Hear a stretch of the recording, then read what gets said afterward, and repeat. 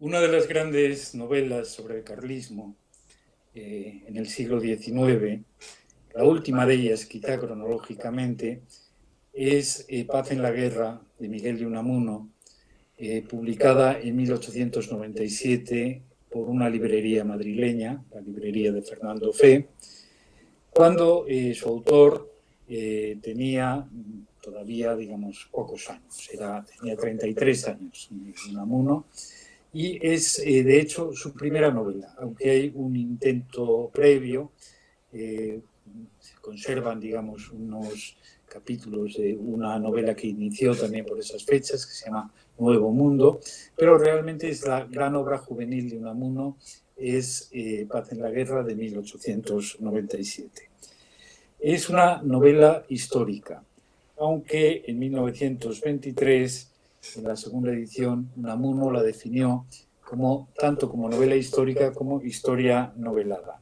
Y dijo de ella también en el mismo prólogo de esa edición de 1923 que se trataba del más grande episodio nacional y creo que debe entenderse eso como un homenaje, digamos, a Caldós, que había muerto, digamos, eh, tres, años antes, y eh, por el que Unamuno no es que sintiera, digamos, una especial devoción, pero eh, lo reconocía, digamos, como el gran eh, iniciador de la novela histórica de asuntos contemporáneos.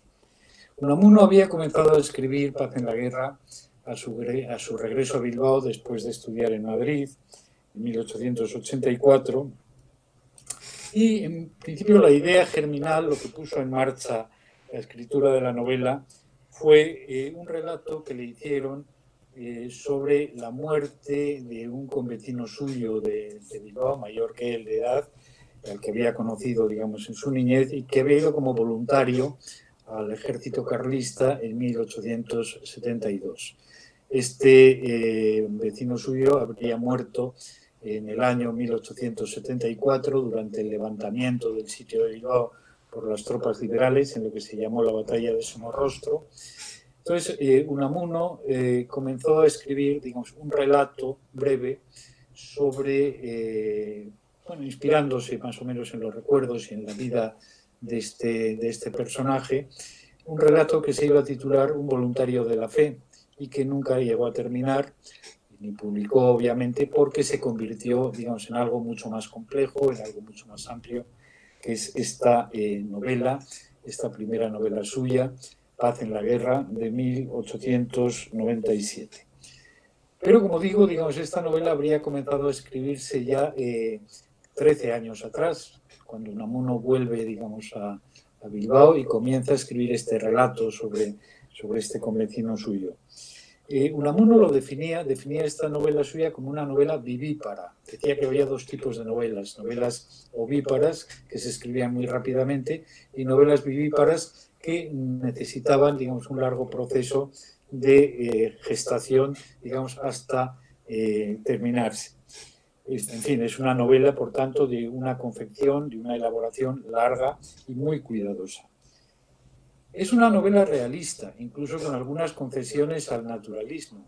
Por entonces, digamos, el joven Unamuno, entre los novelistas españoles, admiraba sobre todo a Clarín, más que a Galdós, tenía incluso una tuvo una correspondencia, una breve correspondencia con Clarín mientras estaba escribiendo Paz en la Guerra.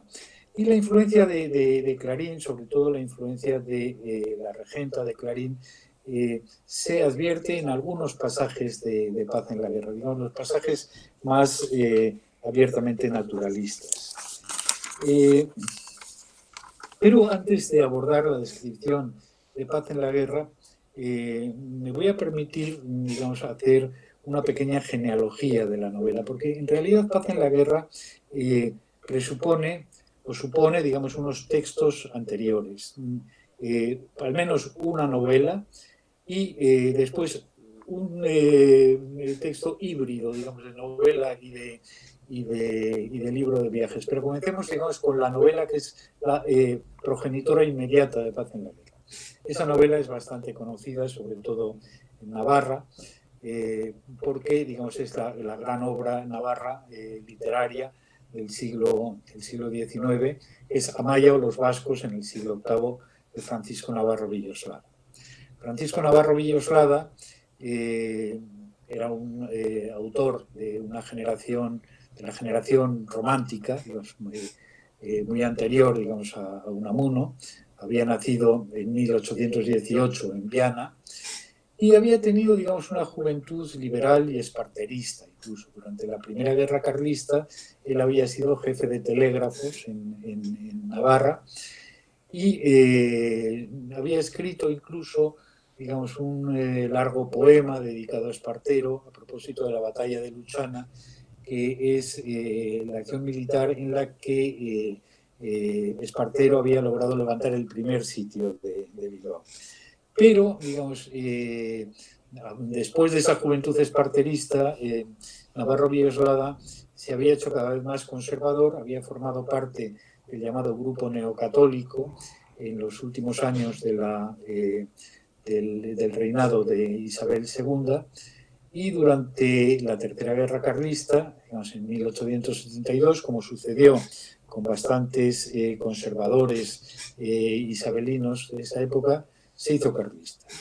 Siguió un poco aquella, consigna del canónigo Manterola cuando decía oh, Don Carlos o el petróleo, hay que elegir entre Don Carlos y la revolución.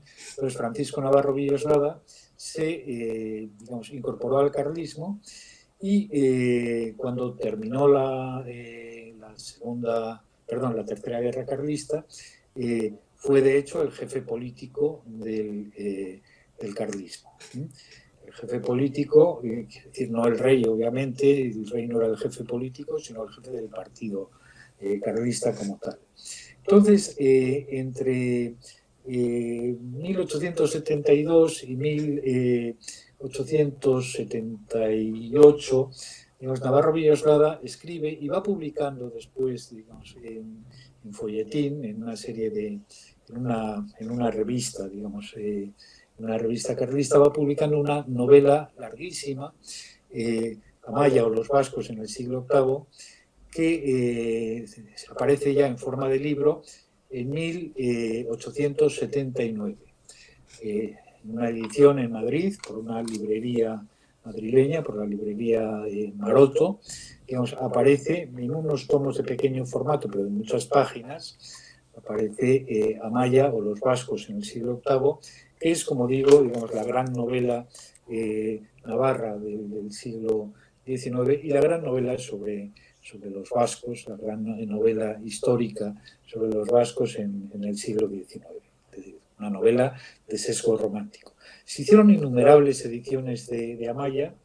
Yo he traído aquí una de las más recientes, que es eh, una edición del Diario de Navarra de hace unos años, solamente para que se vea el tamaño de la, de la novela es en estos momentos yo creo que de lectura muy difícil o farragosísima, sobre todo porque estas novelas eh, folletinescas del 19, digamos, tan largas, ahora pues no hay nadie que se las lea, digamos, con, facilidad.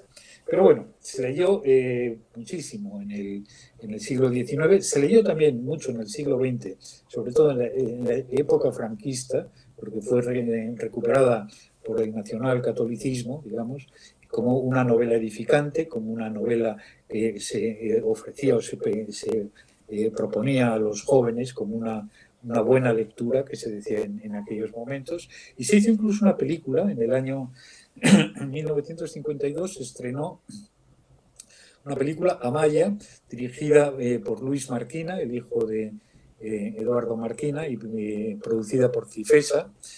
Eh, que es una novela muy curiosa, perdón, una película muy curiosa porque termina eh, con un, el, episodio de una gran matanza de judíos en Pamplona, en, eh, en, un pogromo de, el año 700, 711 aproximadamente, donde digamos, los, los navarros pues, masacran digamos, a los judíos de, Pamplona acusados de colaborar con los, con los invasores árabes.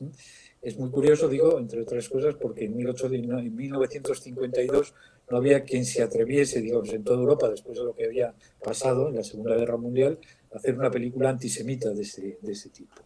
Pero bueno, digamos, la España del franquismo en ese sentido era bastante curiosa, digamos, sobre todo porque no se enteraba de lo que pasaba, digamos, en el resto, pretendía no enterarse de lo que pasaba en el resto del mundo.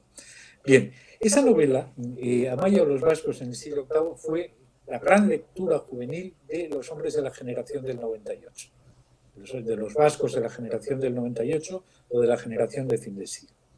La leyó Unamuno, por supuesto, la leyó Unamuno todavía cuando era estudiante en el Instituto de Bilbao.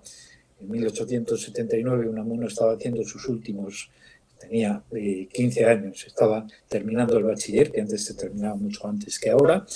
La leyó Baroja mucho después, Baroja eh, había nacido en 1872, la leyó a fin de siglo, y la leyó Sabino Arana, que era más o menos de la edad de Unamuno. Sabino Arana había nacido en 1865, se conocían de jóvenes, Unamuno y él. Arana era de familia carlista, Unamuno de familia liberal, pero ambos leyeron eh, Amaya o los vascos en el siglo VIII. Eh, mm, esto, Sabino Arana escribió, digamos, una especie de relato poético que se llama La bandera de Vizcaya en, eh, en Asturias, en Covadonga, que se inspiraba directamente en la novela de Navarro Villoslada. Eh, Baroja haría, publicaría en el año 22, 1922 eh, una réplica a su modo a eh, Navarro Villoslada, a la, malla de Navarro Villoslada, que es la leyenda de Jaime de Alzate. La leyenda de Jaime de Alzate se inspira directamente en, en, Amaya, pero para darle la vuelta, diríamos, como un calcetín a las tesis de, de Amaya. Amaya defendía eh, el, cristianismo de los vascos, de los vascos en la Edad Media. Eh, Baroja lo plantea o el, argumento de su novela más o menos en la, misma época, la leyenda de Juan de Alzate, pero lo que defiende es el paganismo de los vascos frente, frente al cristianismo. Y Unamuno hace una cosa muy curiosa.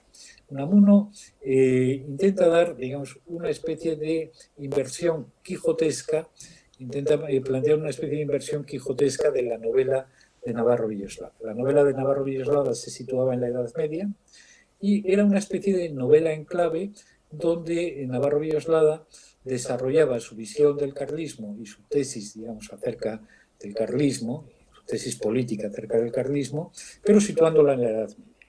Es decir, la novela de eh, Navarro Villoslada habla de la eh, invasión, de, la época de la invasión árabe y de la aparición de los primeros focos de resistencia en la España cristiana eh, después de la invasión. El primer foco, obviamente, es eh, el de Asturias, con Don Pelayo, y el segundo de los focos importantes es Navarra. Entonces, es la Navarra anterior incluso a la aparición del reino de Pamplona, con, con Íñigo Arista. Es una Navarra digamos, ficticia, soñada, una Navarro de novela histórica, donde eh, lo que plantea Navarro Villoslada es hay una guerra entre godos y, eh, y, vascos en la Navarra del siglo, de comienzos del siglo VIII. Es una guerra que viene de muy atrás, que viene prácticamente de la invasión de, los, de, España por los godos en el, siglo, en el siglo V. No ha cesado de haber, digamos, una lucha entre godos y eh, vascos, porque los godos no han conseguido someter a los vascos. Entonces, ahí el, problema se plantea porque, eh, digamos, parte de los, de los vascos se ha convertido al cristianismo, parte sigue, digamos, eh, arraigada en el antiguo paganismo de los vascos, la vieja religión de los vascos, adoradores del fuego, que rinden culto, digamos, al, eh, al fuego en las noches de plenilunio en lo alto de los montes. Bien, los vascos eh, eh, paganos siguen la, las directrices, siguen de una sacerdotisa pagana que se llama Amagoya, y que eh, es la hermana de la heredera de Aitor, la, hermana menor de la verdadera heredera de Aitor, del primer patriarca de los vascos, que se llamaba Lorea y que había sido eh, hecha prisionera por los godos y en su cautiverio se convirtió al cristianismo y se casó con un eh, oficial godo, con un general godo, un triunfado godo, que se llamaba Ranimiro. Ranimiro y Lorea tuvieron una hija que es Amaya, que es mitad goda y mitad eh, vasca, digamos. Bien, el problema se va a plantear. digamos, en la novela de Navarro Villoslada, entre Amagoya, representante del antiguo paganismo de, los vascos, y Amaya, que es eh, la primera, digamos, cristiana vasca, digamos, como, la hija de la primera cristiana vasca, de Lorea, y que representa un poco la referencia que van a tener los vascos de, eh, digamos, los vascos cristianos de, eh, su, eh, de su verdadera reina legítima, o su princesa legítima. porque es la heredera de Lorea y además se ha convertido al cristianismo. Hay una tensión, por tanto, entre estos dos pueblos, entre Amaya y, y Amagoya y su tía. Amaya al final acabará, digamos, casándose con García Jiménez, que, según Navarro Villoslada, sería el primer rey de los, eh, de los vascones navarros, anterior incluso a Íñigo Arista. Eh, García Jiménez se alía con los godos contra los árabes. Pero hay un personaje importante en, Amaya que es eh, un vasco francés, un aquitano, que se llama Eudón, y que se hace llamar Asier. Ha sido adoptado, digamos, por Amagoya como hijo adoptivo suyo. Eh, este Asier realmente, o Eudón, eh, se hace pasar, digamos, cuando llega al País Vasco por un noble bizantino, pero es realmente un judío. Es una especie de agente secreto judío que conspira con los judíos de Navarra para ayudar a los árabes como una quinta columna a conquistar eh, España y a conquistar Navarra. Bien, realmente esto que es muy complicado, lo que estoy contando, es una explicación a la clave de lo que pasaba en la España de la Tercera Guerra Carlista.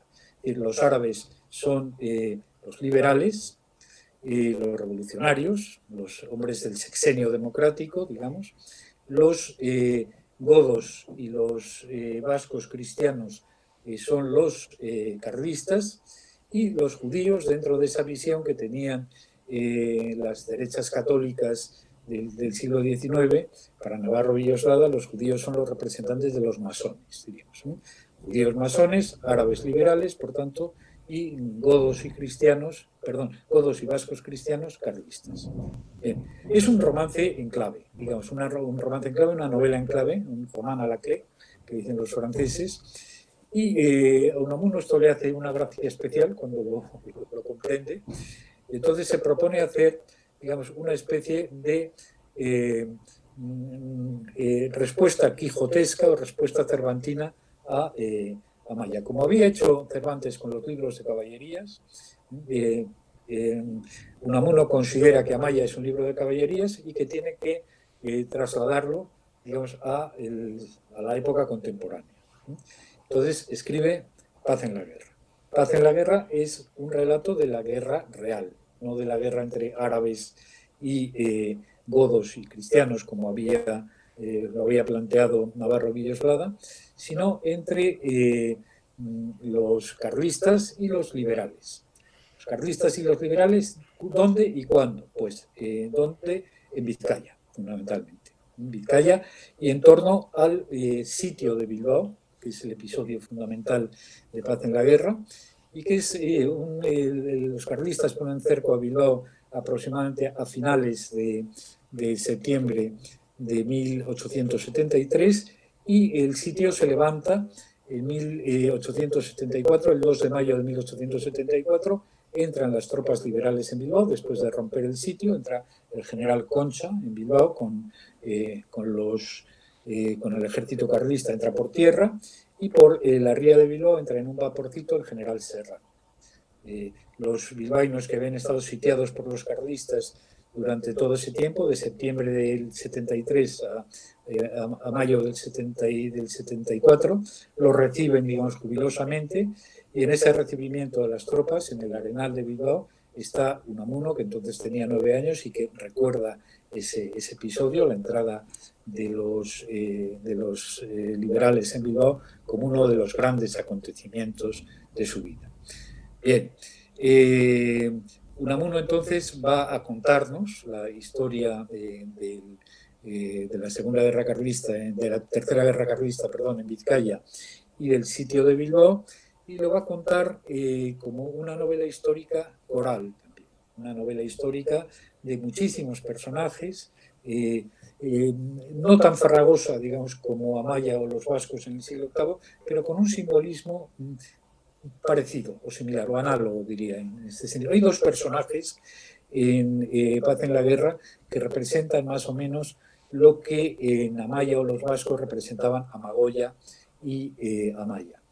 el personaje de Amagoya, recordémoslo, que es la sacerdotisa pagana en Amaya, representa digamos, las tendencias involutivas, regresivas, eh, digamos, mm, las tendencias al ensimismamiento y al aislamiento de los, de los vascos. Mientras que Amaya representa, digamos, la, eh, el, nuevo, la nueva Vasconia, la Vasconia católica, la Vasconia eh, que se incorpora, diríamos, a la civilización cristiana. de hecho, mm, la, la novela de Navarro Villoslada terminaba con el hallazgo del tesoro de Aitor, que lo está buscando, digamos, toda la gente a través de la novela, y que el tesoro realmente no es más que una profecía en un pergamino, donde eh, Aitor profetiza que los vascos se convertirán al cristianismo y termina con unas palabras eh, un tanto enigmáticas que son Amaya da asiera. Es decir, el final es el principio en, vasco. Bien, los personajes eh, fundamentales de la novela de Unamuno son un voluntario carlista, joven, son bilbaínos ambos. Es un carlista bilbaíno, muy joven que morirá en la guerra y que se llama Ignacio de Iturriondo. Y el otro personaje es un trasunto de Unamuno, es un eh, muchacho de la edad de Ignacio, pero que va a estudiar a Madrid, eh, que es eh, huérfano, vive con un tío suyo. Bueno, se, adivina claramente en este segundo personaje, en este estudiante eh, bilbaíno que va a Madrid y que se llama Pachico Zabalvide, se, se adivina que es un trasunto del propio Unamo. Entonces, digamos que estos dos personajes van a representar dos papeles análogos al de Amaya y Amagoya. En el año 1867, eh, un famoso eh, geógrafo y teórico anarquista, eh, Elisée Reclus, que vivía, en, que vivía en el País Vasco francés, había publicado en la Revue de Desmonts, la revista de los dos mundos, había publicado un artículo que decía que los vascos son un pueblo que se va. El título era eh, de, ese artículo de los vascos, un pueblo que se va. Pero decía, bueno, es un pueblo que se va, pero se va como el pequeño arroyo se va a perder en las aguas del gran río de la civilización, digamos, para llegar al mar de los pueblos.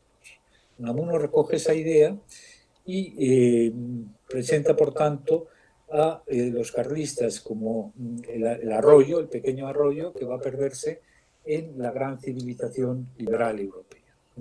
Entonces, eh, Ignacio Iturriondo, el carlista, y Pachico Zabalvide van a ser los dos representantes de esa tendencia, de esas tendencias regresiva y progresiva, digamos, del pueblo vasco. Las tendencias regresivas se identifican con el carlismo, la tendencia progresiva con el liberalismo. El apellido de Ignacio es en ese sentido muy simbólico. Ignacio se apellida Iturriondo. Iturriondo quiere decir junto a la fuente, junto al manantial. Es, por tanto, digamos, el arroyito que eh, acaba de nacer, el pequeño río, que todavía no se ha despegado, digamos, de, su origen, del manantial. Mientras que Trabalvide, los dos términos las dos eh, eh, palabras que componen el apellido de Pachico Zabalvide quiere decir cauce o camino, vide, y sabal, ancho, ancho, ancho cauce. Entonces ahí recoge un amuno esta idea de, de Reclus de los vascos como un pequeño río que va a perderse en el ancho cauce de los ríos de Europa. Bien, esto diríamos en cuanto al simbolismo de las, eh, de las, mm, eh, de las dos novelas. Estoy resumiéndolo mucho, por, por tanto. Eh, pero hay una cuestión interesante y es que Unamuno plantea que el papel del carlismo es un papel casi dialéctico el, carlismo ayuda a la, eh, ayuda a la eh, consecución, ayuda al logro de la revolución liberal.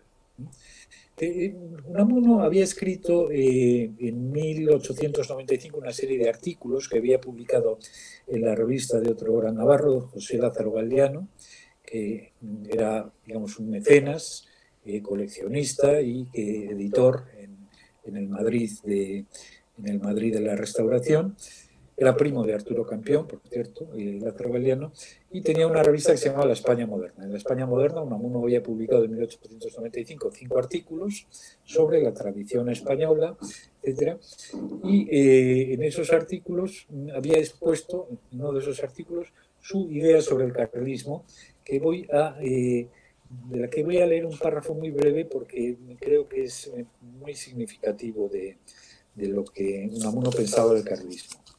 Decía, a raíz de nuestra gloriosa, de nuestra revolución gloriosa, de la revolución liberal, digamos, del de, 19 de septiembre de 1868, y a raíz de, nuestra gloriosa, se levantó tan castiza, dígase lo que se quiera, tan hondamente castiza, se levantó al parecer en contra de ella y en realidad para acabarla y extenderla el pueblo de los campos los campesinos. Y hoy es el día en que no nos hemos explicado aún aquella oleada, es decir, la insurrección carlista. Solo vemos los programas, las fórmulas, las teorías y las doctrinas con que trataron de explicarla los que aparecían a su frente, al frente de esta insurrección. Y sin embargo no faltó quien dijera con vivo vislumbre de la verdad que aquello no era partido, sino comunión y que no tenía programa, ¿Cuándo se estudiará con amor aquel desbordamiento popular que trascendía toda forma? ¿Cuántas cosas cabían en los pliegues de aquel lema, Dios, patria y rey? Le sucedió lo que al hervidero religioso de la Italia del siglo XIII. Lo encasillaron y formularon y cristalizaron. Y hoy no se ve aquel empuje profundamente laico, democrático y popular. Es decir, Unamuno entiende el carlismo como un movimiento laico, democrático y popular aquella protesta contra todo mandarinato, contra todo intelectualismo, contra todo jacobinismo y todo charlamentarismo, contra todo aristocratismo y centralización unificadora. Fue un movimiento, dice del carlismo, más europeo que español, un irrumpir de lo subconsciente en la conciencia, de lo intrahistórico en la historia. Bien, esta es un poco la idea de Unamuno de, acerca del carlismo. El carlismo es un movimiento hondamente popular, que se, levanta, digamos, para completar la revolución. Digamos, cuando la revolución eh, democrática se desvirtúa en el sexenio, se levantan los carlistas para darle cumplimiento. Es una teoría, digamos, un tanto curiosa del, carlismo, pero es lo que pensaba, digamos, Unamuno en esos momentos. Eh, la, novela de Unamuno es eh, en estos momentos muy difícil de, conseguir. Tengo las. Hombre, quizá la edición más reciente y más aconsejable que se puede encontrar todavía en algunas librerías y, por, supuesto, por, por online, por Amazon, etcétera, es esta edición de, que es eh, del profesor Francisco Caudet, una edición en cátedra, en ediciones cátedra, en eh, la colección de letras hispánicas. Y eh, esta se ha publicado varias veces, tiene una introducción bastante interesante del, profesor Caudet. Hay una edición en Alianza Editorial en el libro de bolsillo, pero que prácticamente ha desaparecido ya del mercado con un prólogo del profesor Juan Pablo Fusi, también muy, muy recomendable. Y está, en fin, la vieja edición de Espasa, de Ediciones Austral, que todavía, digamos, en las ferias del libro eh, antiguo, de ocasión, etcétera, suele encontrarse algún, algún ejemplar. Eh, yo tengo aquí, digamos, la, edición de 1923, que ya es una, joya de, mi biblioteca, es la segunda edición de Paz en la Guerra, de eh, la mm, editorial Renacimiento, que era la editorial de la familia de, de Baroja, la editorial de eh, Rafael Caro Rayo, en esos momentos, donde publica Unamuno la segunda edición de Paz en la Guerra, con eh, un prólogo importantísimo, que es cuando da esa definición de paz en la guerra como novela histórica o historia novelada de la que ha documentado hasta el mínimo, eh, el mínimo acontecimiento, el mínimo detalle, y, eh, y, donde la define también como eh, el gran episodio nacional del siglo XIX. De hecho, digamos, con Paz en la Guerra termina el ciclo de la novela histórica realista del XIX.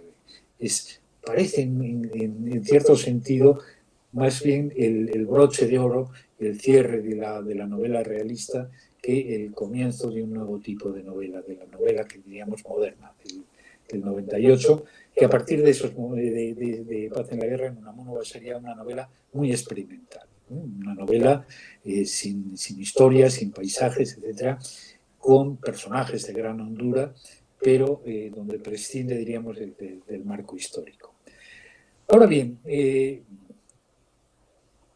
¿cuál es el eh, abuelo, digamos, si Amaya ha sido el padre de, Paz en la Guerra, ¿cuál ha sido el abuelo de Paz en la Guerra? Pues el abuelo de Paz en la Guerra ha sido, otro libro, otra novela realmente que se disfraza de libro de, de viajes, es una novela de 1836, 1836, eh, publicada originalmente en francés en eh, la imprenta de Lesseps en, en Bayona y eh, que se titulaba en francés Voyage en Navarre pendant l'insurrección des Basques, el, el, el, viaje a Navarra durante la insurrección de los vascos. ¿Cuál es la insurrección de los vascos? La primera guerra carlista. ¿Quién es el autor de esa, de esa novela? Pues es un vasco francés, un suletino, se llamaba Joseph Augustin Chao, Chao, escrito Chao con eh, H, eh, A, H, O, eh, Chao, no Chao como en italiano, sino Chao, Joseph Augustin Chao, y que era, digamos, un escritor romántico eh, francés, vasco francés, eh, nacido en Tardets, en Tarratze, en, en, en Suberoa, en 1811, es decir, siete años mayor que Navarro Villoslada. Eh, es un personaje muy curioso porque en principio se presentaba como un republicano francés revolucionario, no ateo, pero sí, eh, digamos, eh, partidario de, una religión natural paganizante eh, y que había sido discípulo de Charles Nodier, de uno de los grandes escritores franceses del romanticismo. En la década de 1830, eh, Shao, eh, que había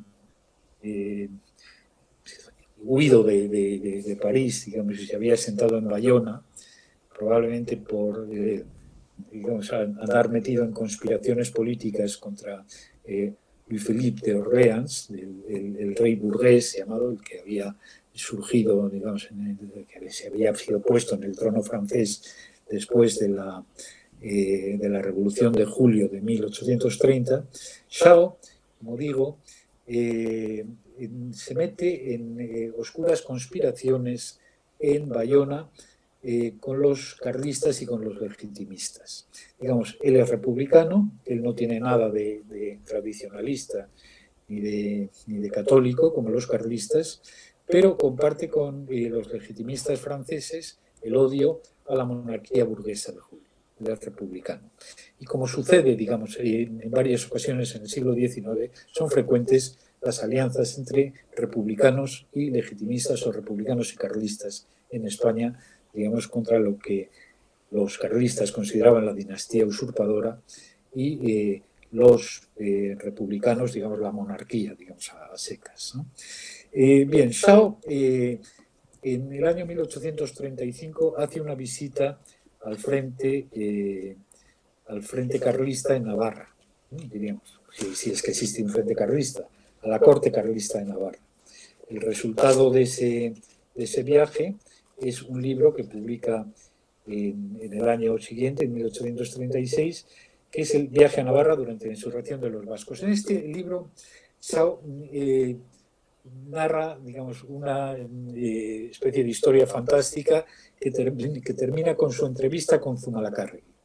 Eh, una entrevista que probablemente no se produjo nunca, pero donde Zumalacárregui le revela cuáles son las intenciones verdaderas de los carlistas vascos. los carlistas vascos no quieren defender ninguna dinastía eh, monárquica española, sino quieren la independencia de los vascos. O sea, de hecho, eh, Sao es el primer nacionalista vasco en ese sentido. Sao, a través de la figura de Zumalacárregui, da una interpretación del carlismo, carlismo vasco, ya de la primera guerra carlista, como un movimiento nacional revolucionario de los vascos, digamos, para constituir una nación republicana o liberal. También es una fantasía de Sao, como por supuesto, pero va a tener una influencia importante en las generaciones posteriores. En la primera edición del libro de Sao, como digo, es de 1836. Hay una edición que se hizo eh, también por el Diario de Navarra en fechas eh, próximas a su edición de, fechas cercanas a la edición de, de Amaya los Vascos por, la, por, el mismo periódico, por el Diario de Navarra. Eh, hubo una edición en, 1800, en 1936, poco antes de la Guerra Civil, eh, por el, una edición que preparó el doctor Justo Gárate, un personaje de Acción Nacionalista Vasca. Pero, en fin, yo he traído aquí la edición, una de las más recientes, y más interesantes, que es esta edición de Chertoa, que es eh, del año 76, de 1876, con una traducción de Xavier Mendiguren y, con un prólogo de Xavier Quintana. Y es una buena traducción, eh, una traducción con, con eh, bien, con sus explicaciones, con notas en principio, y en fin, aquí aparece un retrato de Shao, aquí y distintas escenas de la, eh, grabados de la Primera Guerra Carlista. Eh, ¿Cómo se le ocurre esta eh, historia curiosa a, a Shao? Efectivamente, Shao parece que fue al cuartel general de, de los carlistas, no tenía que, era un cuartel itinerante, pero estaba, digamos, en esos momentos en las montañas de Navarra no tuvo que hacer un viaje excesivamente largo. Fue de, Bayona, pasó la, eh, pasó la muda y fue digamos, eh, a España, donde se entrevistó con gente del cuartel general de Don Carlos. Es poco probable que conociera a Zumalacárregui, porque Zumalacárregui estaba en Bilbao, donde eh, lo alcanzaría, digamos, una bala en el sitio de Bilbao. Este, estaba en Begoña y como se sabe, digamos, lo llevaron inmediatamente a, a Cegama donde, eh, donde murió. Eh, murió, se atribuye esto digamos, a aquel curandero que iba con él siempre, al eh, maestro Petriquillo Tellería, que le había curado mal esa herida de la bala en la pierna, que Bien. Chao no se entrevistó, por tanto, con Zumalacárregui, pero sí pudo entrevistarse con otro personaje interesante, que es otro escritor vasco, en este caso guipuzcoano, Juan Bautista de Erro y Aspiros, que en el año 1815 había publicado un libro que se llama El mundo primitivo y la nación vasca. Juan Bautista de Roya Espiroz, que era, eh, había nacido en 1772, era ya bastante mayor en el año 1836, eh, era ministro universal de eh, Carlos María Isidro, del pretendiente carlista. él debió hablar bastante con, con Shaw y debía hablar a propósito del origen de los vascos, etcétera, puesto que eh, eh, Erro había publicado en 1815 un libro que se llamaba El mundo primitivo y la nación vascongada. Eh, en este libro había especulado, digamos, Erro sobre los vascos anteriores al diluvio universal. Él pensaba que los vascos eran los legítimos herederos de los primeros hombres, de Adán y de. Eh, entonces utiliza, digamos, eh, eh, un término para designar al primer antepasado de los vascos que él identificaba con el primer hombre. la expresión que utiliza es el Padre Universal. Los vascos vendrían directamente del Padre Universal y serían un poco la rama primogénita del Padre Universal. El Padre Universal, según Roy Spiroz, es el antepasado común a todos los monarcas legítimos del mundo. Bien, esta es una idea que, eh, que Roy Aspiroz tomaba de eh, un eh, inglés del siglo XVII, un absolutista inglés que se llama Robert Filmer y que había desarrollado esta idea de que todos los monarcas del mundo eran los herederos de un padre universal que habría sido, digamos, el depositario del poder legítimo. Dios habría conferido, digamos, a este Padre Universal un poder absoluto sobre sus hijos, incluso el poder de eh, vida o muerte sobre sus hijos y desde luego el poder de castrarlos si quería y por tanto impedir la eh, generación o la, eh, digamos, impedir que se prolongasen determinadas, determinadas ramas entre sus descendientes. por cierto, esta teoría interesó mucho a Freud. Freud se, se, inspiró bastante digamos, en esta teoría de Filmer para hablar del complejo de castración, etcétera, y de los, padres castradores. ¿no? En fin, eh, y Spinoza había utilizado esta figura del Padre Universal en su mito originario de los vascos y cuando se la contó a Shao, Shao dijo, bueno, pues, ¿por qué no lo voy, voy a convertir, digamos, este Padre Universal en un eh, mito específico? Eh, y entonces inventó, digamos, al patriarca Aitor. Aitor quiere decir exactamente Padre Universal, quiere decir otra cosa.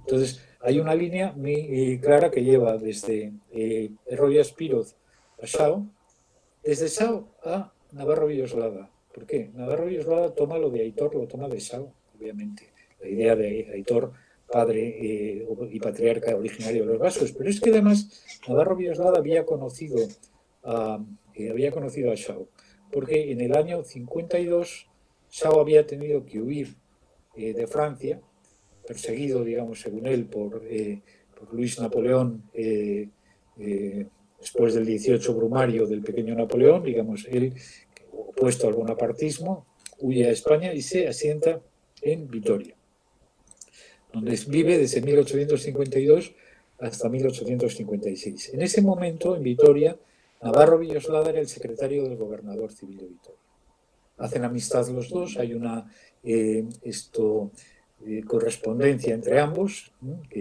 interesante que publicó en su momento uno de los Echegaray, de Bonifacio Carmelo, no recuerdo en estos momentos quién, pero eh, digamos, con el tiempo obviamente Navarro Villasplada iría separándose más y más ideológicamente de, de Sao hasta considerarlo, digamos, como una especie de infiltrado masónico en el mundo del, del carlismo vasco. Y de ahí que el personaje de Aser o Asier, en, esta especie de infiltrado judío en Amaya, sea un trasunto clarísimo de, eh, de Shao. Eh, Navarro Villoslada traslada digamos, a, a Shao al interior de su novela de Amaya como digamos, este conspirador eh, judío que intenta levantar a los judíos de, Navarra y de Pamplona contra los cristianos vascos, digamos, para apoyar como quinta columna la invasión de los, de los árabes. Y bueno, terminaría ya diciendo solamente algo que me parece bastante importante. Es el simbolismo del título mismo de la novela de, de Unamuno, de Paz en la Guerra. Paz en la Guerra obviamente recuerda algo, recuerda el título de otra novela, de una novela de Tolstoy, La Paz y la Guerra, que Unamuno había leído claramente eh, una novela de León Tolstoy, eh, que era famosísima, es una de las grandes novelas europeas del siglo XIX, que como se recordará es también una novela coral que trata de la invasión napoleónica de Rusia. Es una de las grandes novelas rusas. Los rusos la consideran, de hecho, como su gran novela contemporánea todavía hoy. Unamuno había leído eh, Paz y la Guerra detenidamente, perdón, La Paz y, la Guerra detenidamente y había sacado sus conclusiones, pero el título eh, de la novela tiene un sentido en Unamuno que no tiene en Tolstoy. Unamuno eh, era evolucionista. Unamuno creía que las sociedades evolucionan siguiendo un patrón determinado y que las lenguas también evolucionan siguiendo un patrón determinado. Ese patrón es eh, un patrón triádico, un patrón en tres fases. todas las sociedades pasan por una fase, digamos, de horda, la fase primitiva, para llegar a eh, un final que serían las sociedades industriales, las sociedades industriales pacíficas, liberales y eh, organizadas según el principio de la colaboración pacífica y la división del trabajo. Entre la horda y las sociedades liberales están lo que se llaman las sociedades militares, militant societies, que es un término que utiliza un sociólogo británico, Spencer, al que Unamuno tradujo y que seguía muy de cerca en esos momentos, las sociedades militares son sociedades movilizadas de continuo para la guerra. Son sociedades, digamos, feudales. Sociedades que viven en continua guerra, en una situación de, continua guerra civil y, frente al exterior, con otros. Bien, eh, a esas eh, sociedades corresponden tres fases en la evolución de las lenguas. Las sordas hablarían, digamos, en unas lenguas silábicas. Eh, las lenguas de las sociedades eh, industriales son lenguas flexivas, como el francés, como el inglés, como el español, y las lenguas de las sociedades militares o militant societies serían eh, lenguas aglutinantes, lenguas para entendernos, como el latín, como el alemán, con declinaciones, y como el vasco. Como el vasco.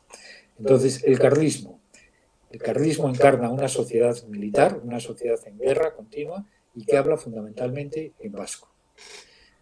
El liberalismo es, encarna una sociedad evolucionada, industrial, pacificada, etcétera, y que habla en una lengua eh, flexiva como el castellano. Bien, paz en la guerra quiere decir el liberalismo, la paz dentro de la guerra, el carlismo. La sociedad industrial pacificada y, democrática, liberal por lo menos, y la sociedad eh, guerrera, la sociedad en guerra continuamente, que es el carlismo. Paz en la guerra, paz en mitad de la guerra, por tanto es el liberalismo en mitad del carlismo. Lo que quiere decir este título simplemente es Bilbao como sociedad, eh, eh, como sociedad liberal, como sociedad pacificada, dentro del mundo del, carlismo rural de Vizcaya, que es una sociedad en guerra. Entonces, lo que quiere decir el título de esta, de esta novela es ni más ni menos que el sitio de Bilbao. Bilbao sitiado, digamos, por los carlistas. Eh, yo recomiendo, obviamente, la lectura de, Paz en la Guerra, que me parece, digamos, una de las grandes novelas del siglo XIX.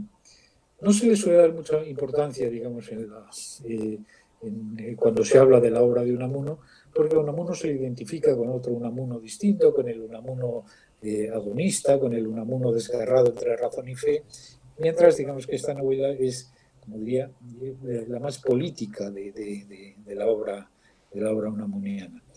Y desde luego, digamos, su comprensión exigiría, o eh, bueno, haría recomendable por lo menos, digamos, la lectura de Amaya y la lectura de el viaje a Navarra durante la insurrección de los vascos de Sao. Así nos haríamos una idea de lo que supuso, digamos, el carlismo vasco desde sus, desde sus orígenes, desde la primera guerra carlista hasta eh, la tercera guerra carlista y, el sitio de, Bilbao. Estas tres libros, o tres novelas, diríamos, Viaje a Navarra de Sao, eh, la Amaya o los vascos en el siglo VIII de Navarro Villoslada y Paz en la Guerra, nos darían esa visión, diríamos, panorámica, con tres interpretaciones distintas. Una interpretación en clave nacionalista y revolucionaria, que sería la de Sao, del carlismo. Una interpretación en clave providencialista y católica, que sería la de Navarro Villoslada. Y una interpretación liberal, clave liberal, que sería la, la de Unamuno. Y nada más, con esto terminamos.